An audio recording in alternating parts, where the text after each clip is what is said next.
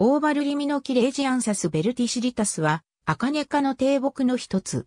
名前に合わず、黒っぽい実をつける。常緑性の低木で高さ1から2メートルほどになる。茎には伏せた短い毛がまばらに生える。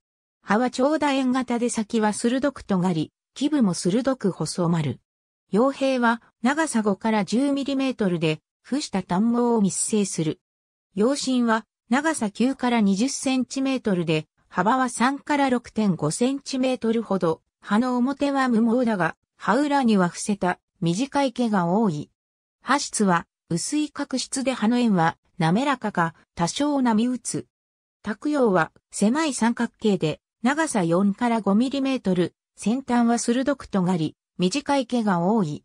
花は3から5月に、溶液から1から4個を生じる。花柄はほとんどなく、紅葉はほとんど発達しない。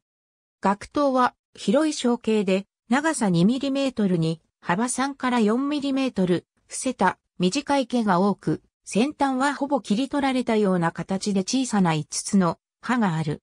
果敢は広い小径で白く、筒の部分は長さ 4mm、先端は5つに裂けて開く。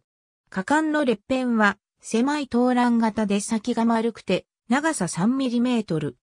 果敢の外面と鼻頭部の内側には柔らかな毛を密生するが、果敢の裂片の内側は毛がない。液化は楕円型で長さ 9mm、幅 6mm。果実の先端には、額が筒状に伸びてくっついている。果実が熟すと黒視色になる。奄美大島以南の琉球列島と大東諸島に分布し、国外では台湾、フィリピンに分布する。森林内に生える。本属には他に複数の種が同じ地域に見られる。その中で本種は葉の大きいことで多くのものとはっきり区別できる。同程度の大きさになるのは台湾ルリミノキエルシアノカラスイであるが、この種では茎や葉に剛毛が密生するのではっきり区別できる。なお、日本のこの属のもので果実が細長く黒く熟するのは本種だけであり、他の種は球形の果実が瑠璃色に熟する。以下、種として、佐竹ほか P202 初島、P574 初島、P574 初島、P574 佐竹ほか、P202。ありがとうございます。